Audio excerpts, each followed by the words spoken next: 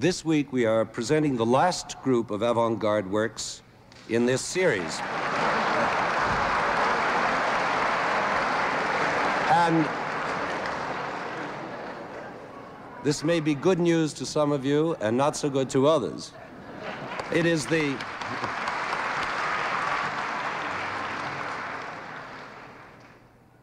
It is probably the most remarkable group of works of all, uh, one might say the most avant-garde.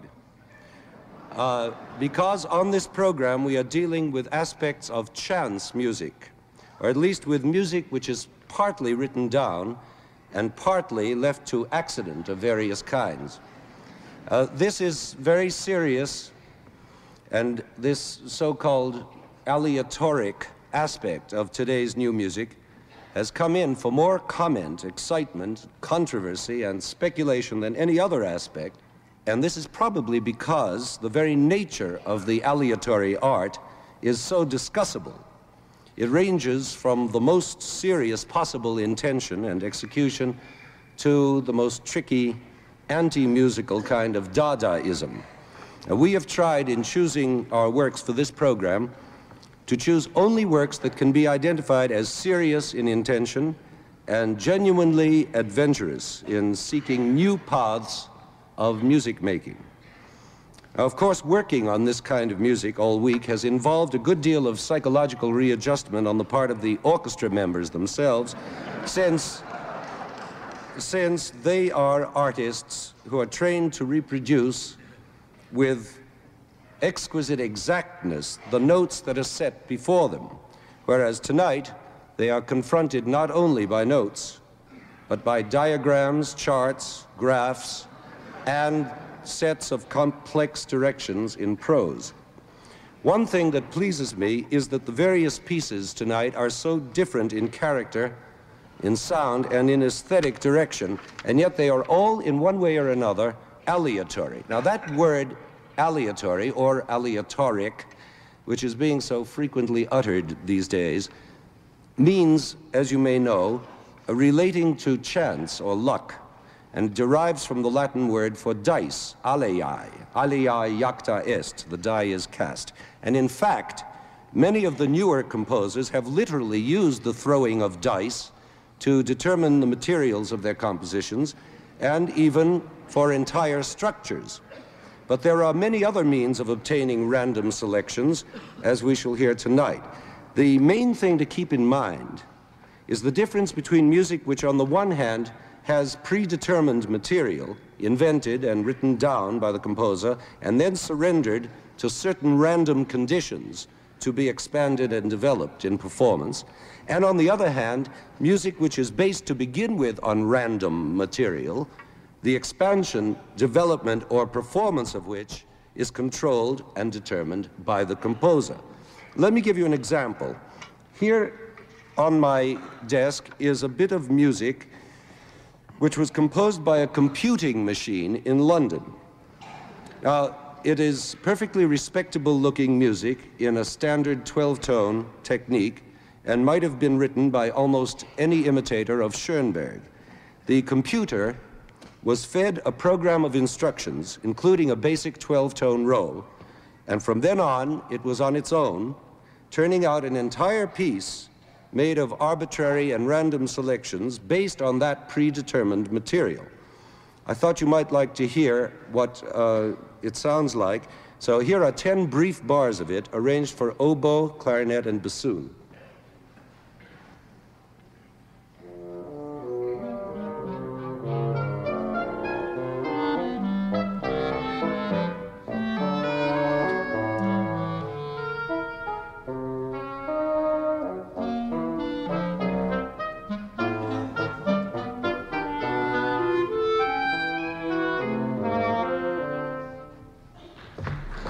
It's not bad. In case any of you are interested in hearing more of that music, the computer's name is Pegasus, and, uh, and can be contacted through the BBC. Now, uh, that was an example of predetermined material with random development. Now let us hear an example of music with no predetermined material at all, and only the slightest, most spontaneous control of its evolvement. In other words, the orchestra and I will compose on the spot.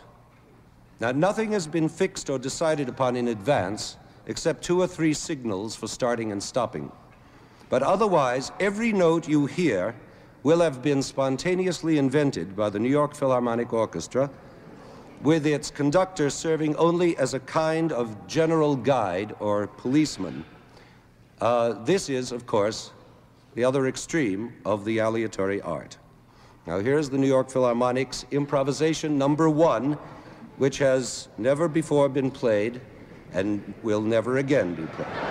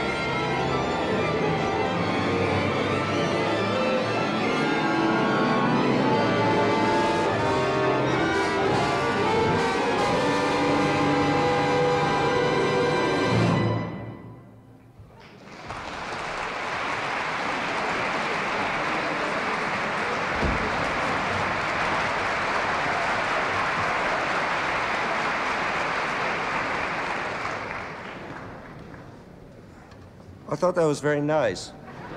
And also very serious.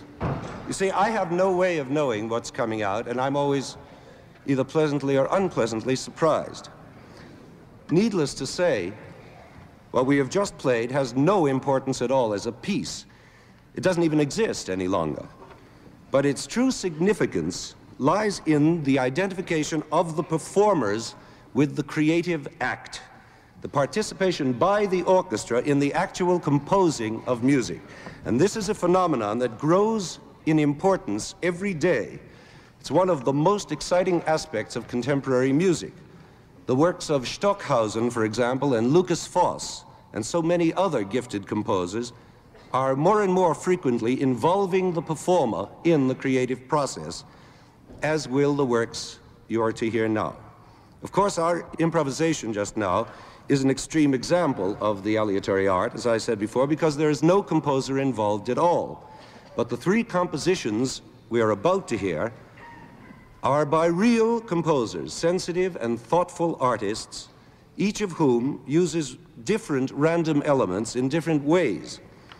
For example, Mr. Cage used chance in the very composing of his piece. For one thing, he used the changes of the famous Chinese fortune book E. King, and for another he obtained certain notes by placing transparent music paper over a map of the stars called Atlas Eclipticalis and inscribing a note wherever a star appeared. He has also obtained notes for this piece by observing imperfections in the music paper on which he was composing it. But these are all chance elements. But the piece is even more aleatory than that in the sense that every instrument of the orchestra has a contact microphone attached to it so that the notes they play will be further subjected to random choices of the composer and his assistant who will be seated at the electronic controls. Thus, the composer at the switchboard is ultimately responsible for what comes out over the various loudspeakers that are placed around the hall. And no member of the orchestra ever knows when he will predominate over the others, over his colleagues, or for that matter, whether he'll be heard at all. But remember, this is not only chance music, by any means, since every note the orchestra plays has been written down by the composer.